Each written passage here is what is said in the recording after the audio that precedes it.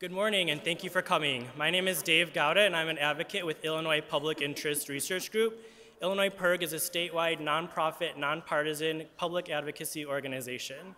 Joining me today are Attorney General Lisa Madigan, Dr. Elizabeth Powell of Lurie Children's Hospital, and Nancy Cowles of Kids in Danger. I'd like to thank the, uh, the Ann and Robert H. Lurie Children's Hospital for hosting us once again. We're here today to release Illinois PIRG's 29th annual Toy Safety Report, Trouble in Toyland. Today's message is clear. We need to protect our littlest consumers from unsafe toys. Parents and caregivers should watch out for unsafe toys when shopping this holiday season. Over the last 29 years, our report has led to at least 150 recalls and other actions to get dangerous toys off of store shelves. When our researchers went out looking for potentially unsafe toys again this fall, we found dangerous products that could harm or poison a child. We found these toys everywhere, at dollar stores, online, and at big chain stores like Walmart and Toys R Us. Progress has been made. In 2008, policymakers responded to an unprecedented wave of toy recalls by passing a law to revamp the Consumer Product Safety Commission, empowering it to better protect America's kids from unsafe toys. In addition to expanding the tiny CPSC's budget and staff, the new law gave the Commission more tools to speed recalls of dangerous toys, including a publicly accessible database of potential hazards called www.saferproducts.gov, which went live in 2011. It banned toxic metals and phthalates from many types of toys and children's products and required mandatory testing of toys and other products by manufacturers.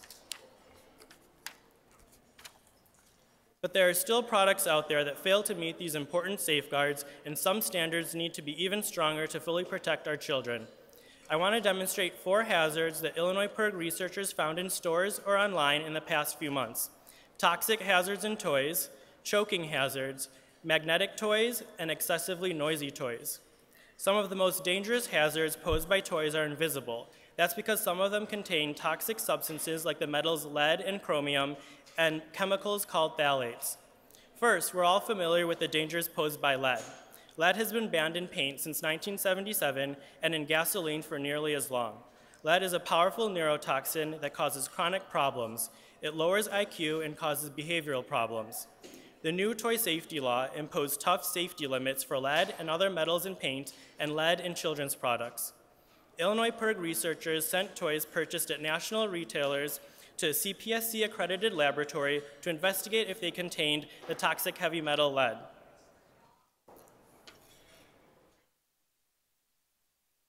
At Dollar Tree, we found these toy sheriff badges that exceeded the allowable standard of 90 parts per million of lead.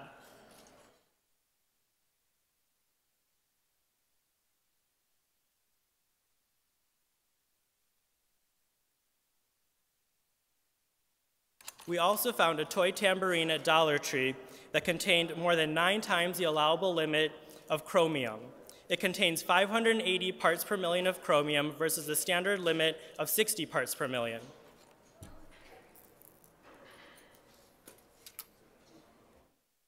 Toxic chemicals called phthalates also pose potential hazards. Manufacturers use these chemicals to soften plastic, but they're connected to adverse reproductive and developmental health effects. Once again, it's children who are most vulnerable to these health effects. The 2008 Product Safety Law banned children's products containing more than 1,000 parts per million of any six types of phthalates.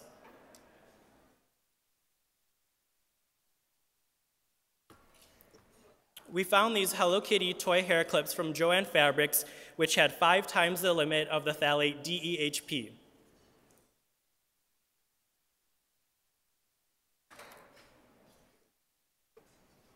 Now, I'd like to turn to choking hazards, which are the leading cause of all recalls. We all know that toddlers put everything in their mouths.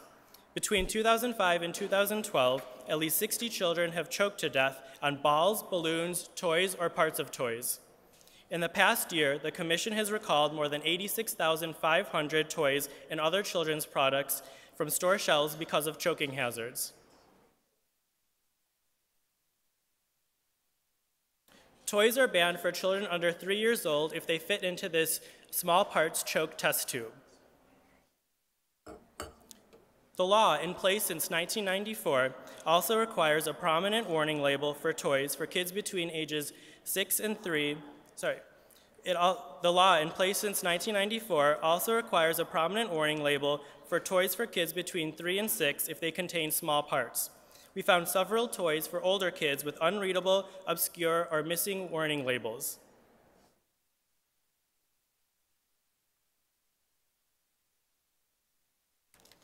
We found these party favors at Dollar Tree which do not have any hazard warning label for a choking hazard. This is a label violation because the toy could appeal to a child aged 3 to 5. It has small pieces that fit easily into the choke test tube. As you can see, this toy has small pieces that easily fit inside the choke test tube.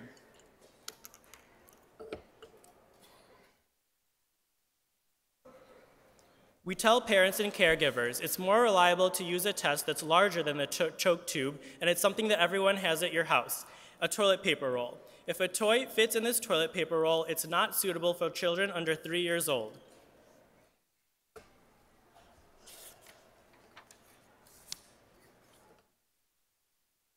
Now, I'd like to talk about magnetic toys.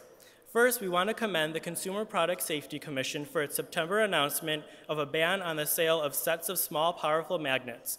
Magnetic toys, including the so-called adult desk toys such as Buckyball and Zen magnets included in the ban, still pose dangers to children.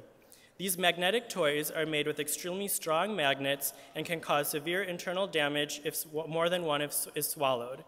CPSC staff estimate that 2,900 ingestions of magnets from magnet sets were treated in emergency departments between 2009 and 2013.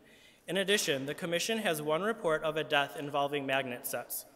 Unfortunately, we found that these products are still available online even though the CPSC has taken aggressive enforcement and legal action.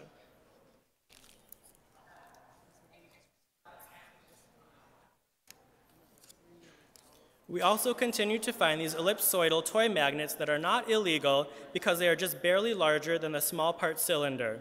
These are Sizzlers Toys magnets that we found at Toys R Us. It's especially dangerous since it's shaped so much like a throat. The CPSC has reported stomach injuries associated with similar magnets when swallowed.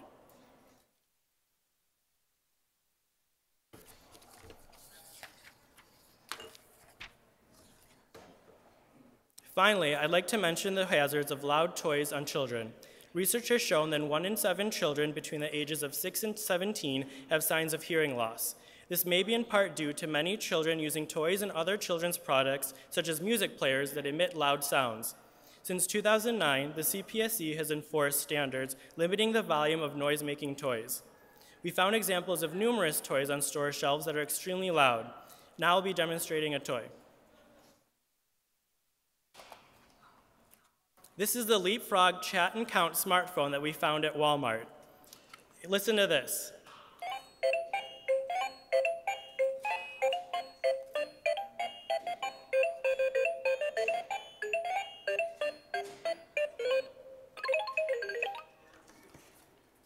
This toy is way too loud.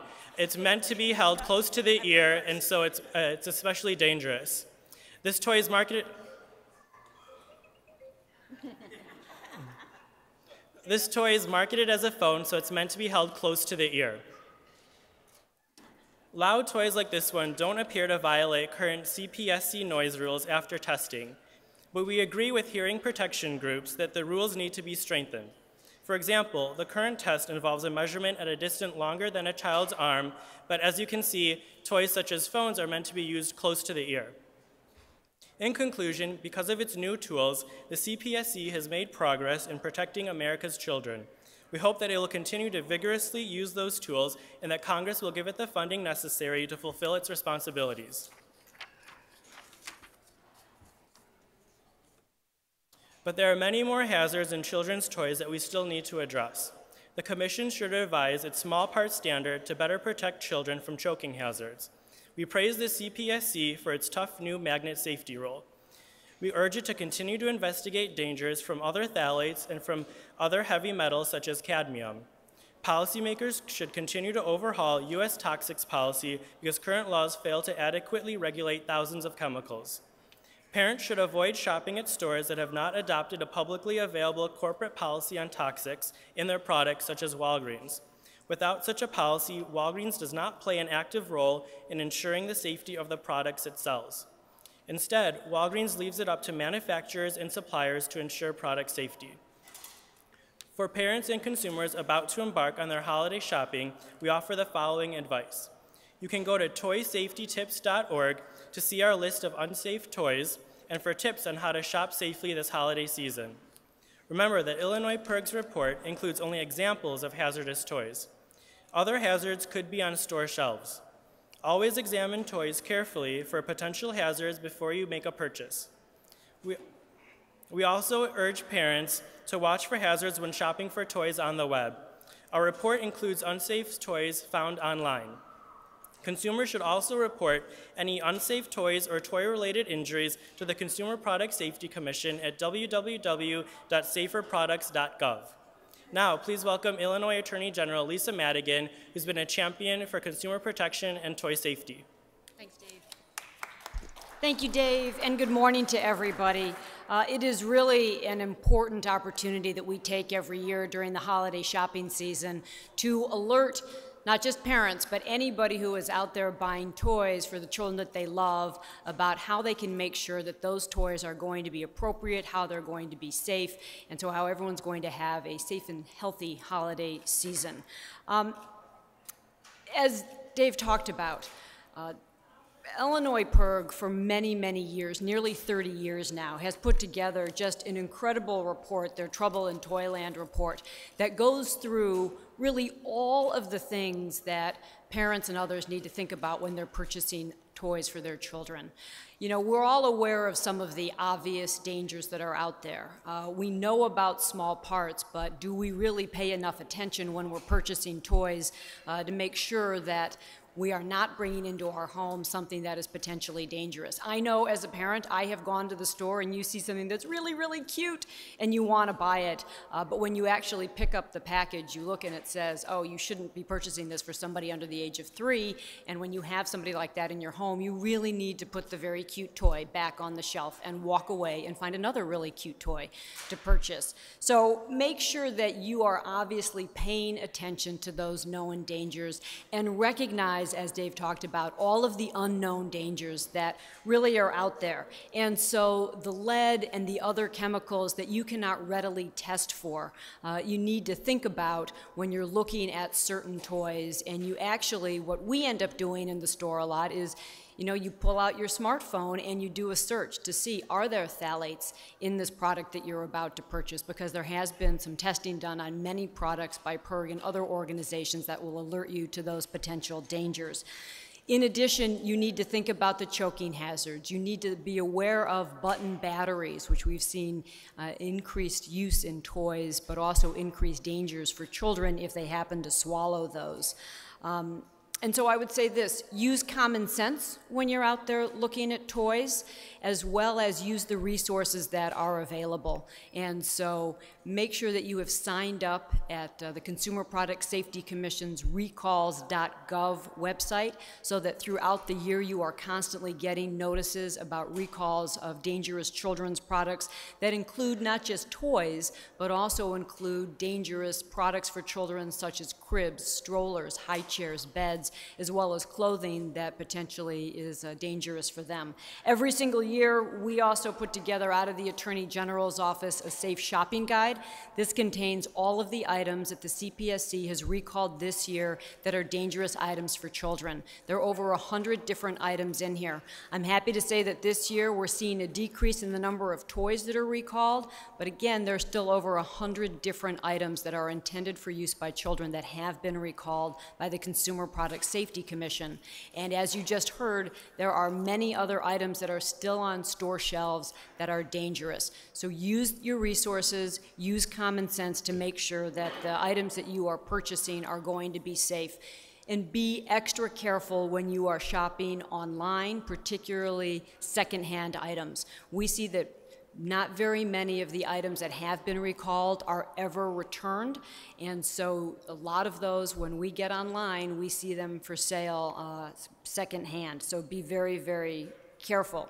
Finally, I want to say one more thing, and that is about how you, as a parent, you as an adult, can better protect yourself this year. Because while earlier on, back in 2007, 2008, we really had, you know, years of the recall. I would say this year has been the year of the data breach. And so when you're out there using your credit card, using your debit card, every single time you use that card, you are potentially opening yourself up to being a victim of identity theft.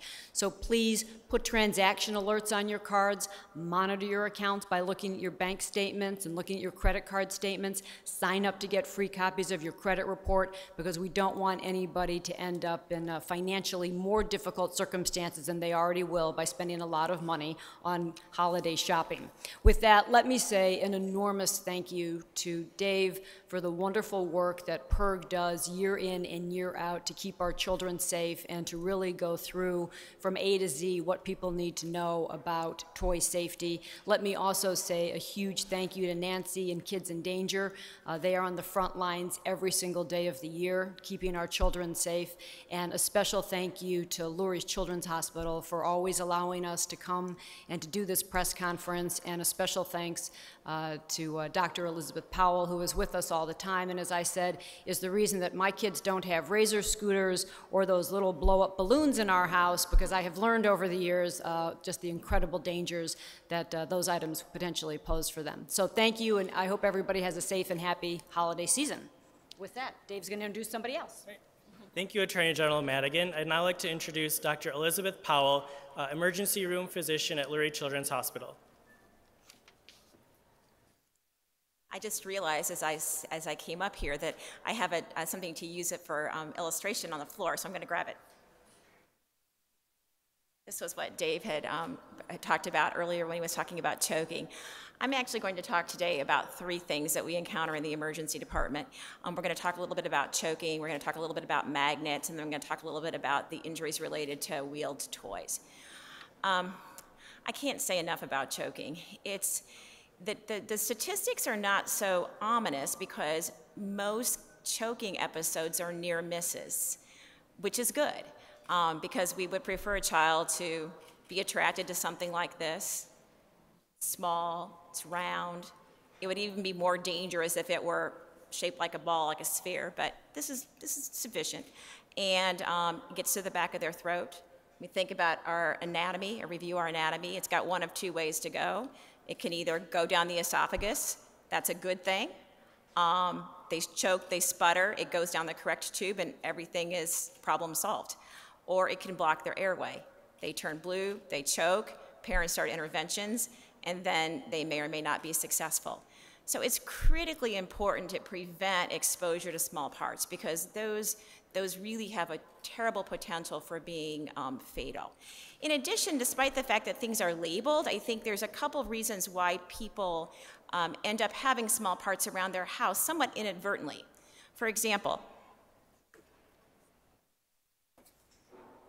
this chat and count says 18 plus months. Okay?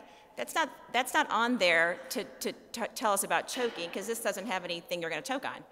And that's the choking label is for older, younger than three years, right? This is a label for um, suggestions for cognitive development.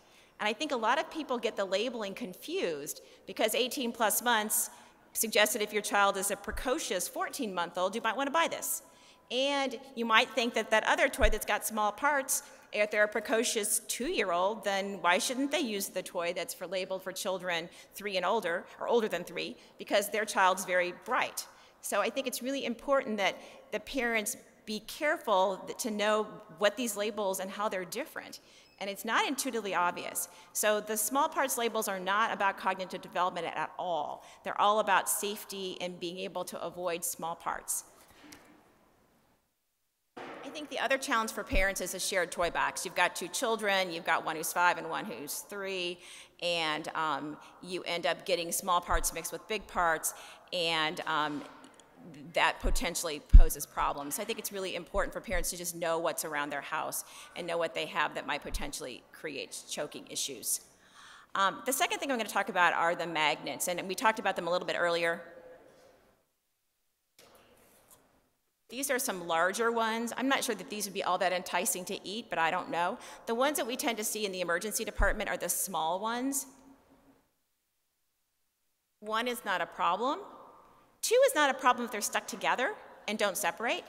The challenge is that if you've got a bunch of magnets or you've got more than two that are separated in the intestinal tract, it's not a big deal in the stomach, but as they rotate through the intestines, if you get magnet one here and magnet two over here and they come together, they can cause a, a, an obstruction, which can make a child very sick. One might ask, well, that shouldn't be that hard to figure out, right? I mean, they, the mom comes in and says, I swallowed magnets. Well, it's not always so straightforward because not always do the parents realize that from this huge set of magnets, two were gone. Um, and I think the second issue is that they're really the only way to pick this child out from the bazillions of kids this time of the year who are in the emergency room with vomiting is to do an x-ray. And so it's very easy as a care provider to not identify the one child and many who might have potentially had this exposure. So it's critically important to know if you have magnets in your house and to really keep them out of the reach of small children who are interested in eating them. Um, the third thing I'm going to talk about are the small wheel toys. And um, Lisa referred to my, my concerns about scooters. And um, I think I put other categories, we don't think about these things as toys, but I think it's really important that we um, be aware of the risk associated with scooters and skateboards and um, bicycles too. I mean, I think I don't want to demonize any of these activities because I think it's really important for kids to be active. On the other hand, I think it's really also essential for parents to understand that protective gear is important and as much as you can to have your children um, participate in these activities separate from traffic simply because you can have serious injuries from falls but you generally have more serious injuries if this is happening in a traffic area so um, I will conclude with that. I wish you all a happy and healthy holiday season, and thanks again for trying to keep um, our children safe. Thank you, Dr. Powell. I'd now like to introduce Nancy Cowles, Executive Director of Kids in Danger. Thank you, Dave, and, and thanks to uh, Illinois PIRG for this uh, excellent report this year. Um, this information in this report really um, allows parents to keep their children safe. They can see what hazards they were unaware of and also learn more about hazards they themselves can check for, such as choking hazards. We congratulate PIRG on doing this report for 29 years, giving parents this important information. We see the continuing hazards of lead, heavy metals, choking, and hearing damage, and by that we know that more still needs to be done. But the report also shows that we've made progress. The Consumer Product Safety Commission is doing a better job at stopping dangerous toys at our ports and making sure that every toy that reaches the store shelves has passed a mandatory safety standard for toys. And that simply was not true um, even five years ago. So we are thrilled to see that, that increase. Just last month, the new CPSC chairman, Elliot Kaye, spoke on ABC's 2020 and reiterated his strong commitment to keep working on this issue and to make sure that uh, unsafe toys do, are not sold in stores. Parents and others can help toys uh, become safer by reporting problems with toys to saferproducts.gov that Dave mentioned. Um, that is a public database for the first time. Injury data is not hidden away in secret, but you can make that report there and other parents can see it. They get enough reports and hopefully they can take action on those toys such as these um, that are still found on store shelves. If you're out shopping, you can use visit kidsindanger.org on your smartphone. We have a search field there. You can check and see if any of the products that you're looking for, the crib that you want to use when you're visiting your sister, to see if they've been recalled or have safety problems. Again, we want to thank uh, PIRG, Illinois Attorney General Lisa Madigan for her leadership on safety issues, and the wonderful doctors and staff here at Lurie's Children that really makes Chicago um, such an important place for keeping children safe. Thank you. Thanks, Nancy. Uh, just a reminder, you can find our report, Trouble in Toyland, on our website at illinoispirg.org. You can also check for toy safety tips at toysafetytips.org. Uh, now I'd like to open it up for any uh, questions uh, for any of our speakers.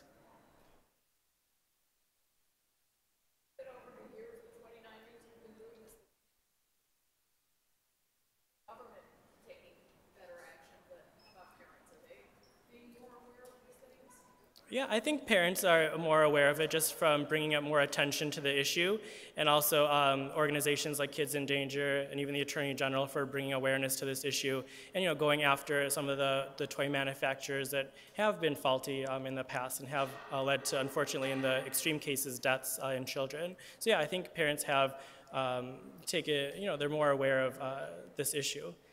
Nancy, do you have any? Well, I think people are more aware of the issue, and I really want to give a lot of credit to all of you who are sitting and standing here because you have been, you know, phenomenal in giving coverage to the dangerous toys. The dangers oftentimes change, and so they remain hidden dangers. I think if you would say to a parent, what's the biggest problem, they would probably be able to very quickly identify, well, small parts, they'd be able to quickly say lead, but it's not always easy. I mean, you as an individual, it's highly unlikely you're going to go out and get a lead testing kit and test all the toys you purchase. You're certainly probably not going to be able to ever determine on your own if there are phthalates or other types of chemicals that are toxins and dangerous for kids in those products. In addition, there are a lot of new things. Um, when I was coming up, there weren't really wildly noisy toys. These toys are very noisy, as pointed out. Uh, the powerful magnets, the button batteries. So there are a lot of new dangers. So while parents are aware, I think they're also a little overwhelmed, which is one of the reasons that we still come together and try to provide people with resources and common sense tips about how they can better protect themselves and their children. And so, yes, you know, parents are doing better, but there seems to be a lot more that they need to do and be aware of to keep their kids safe. So we continue to do this and rely on you to get the word out. I have one more thing to add, if you don't mind. This question was about whether or not this is helping. Um, we don't have the best data, but anecdotal evidence would suggest that we're seeing, we, overall as a nation, we're seeing fewer children who are choking on parts of balloons. There used to be a lot more case reports in the um, 80s and 70s and 80s, and we're just not seeing as many of those. Now, it may be that they're not reported, we're not certain, but my suspicion is that actually there's been a big success there. I think there's so much year-to-year variation on the small parts that it's really hard to know if you're making a difference. In addition, you're not counting all the near misses. So I think that's another challenge. Right, yeah. I'd say about shopping for every child I know. I bring my phone with me. What are the websites, top two or three websites I need to make sure? Yeah, you can go to you can go to toy safety toysafetytips.org, recalls.gov, and also saferproducts.gov. Do you have any more websites? No, I, I would say those. You can also, as I mentioned, at Kids in Danger, we have a recall engine that will look for recalls. Um, but some of these um, hazards, is, you know, all these store, all these products are not recalled, and yet there's still hazards in them. So knowing kind of what you're looking for to avoid small parts. Um, if you if you have a shared toy box, as someone mentioned, to to try and figure out ways to keep those separate, um, and then avoid anything with a small magnet. I would just say. Any other questions?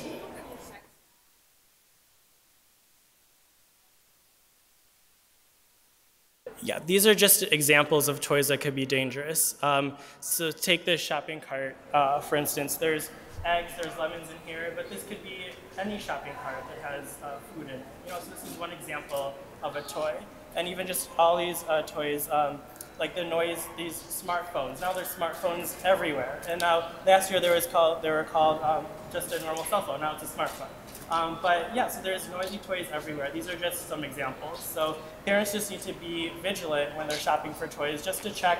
Keep in your mind toilet paper roll. If it fits into a toilet paper roll, it's probably it might be a choking hazard for a child under the age of three. And if it's really loud, if it's too annoying for you when you're shopping for toys, then it's probably not suitable for a child, especially if they're going to use it right by their ear.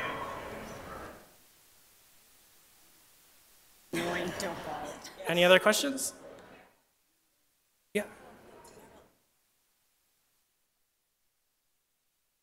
How many what?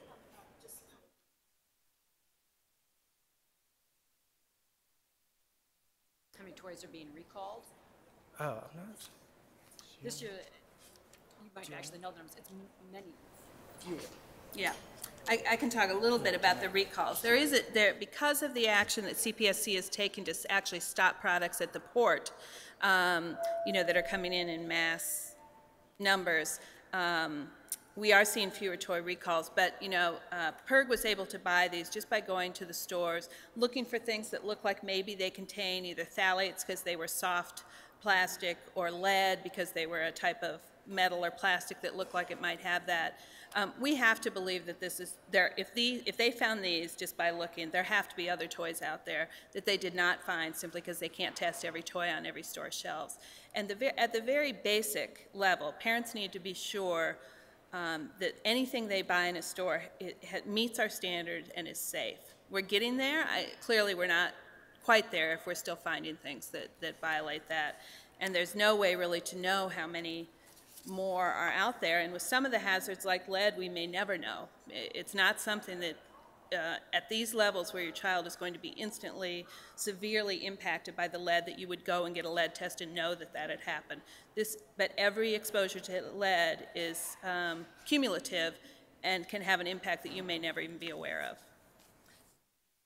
So let me say this. So our guide has all of the items that have been recalled that are either toys or intended for children. This year, it appears there are about 14 items that you could classify as a toy out of over 100 items that have been recalled. Now, some years that number has been much, much higher. But again, there are probably more than 13 toys sitting right in front of me that still pose a danger. And so that's why it's not enough simply to be aware of what items have been recalled, you also have to use your common sense and, you know, be a little suspicious when you're out there looking at toys, making sure, you know, if it's too loud and annoying to you, don't buy it for your child. If it has little parts and your kid is five years old and still sticking stuff in their mouth, well, then even if it says not intended, you know, for kids under three, don't buy it. Or if you have a child who's two, don't buy the toy that's not, you know, intended for a child younger than uh, or older than three. So, you really have to make yourself aware as a parent, and you cannot simply rely on what's been recalled if you're going to be able to keep them safe.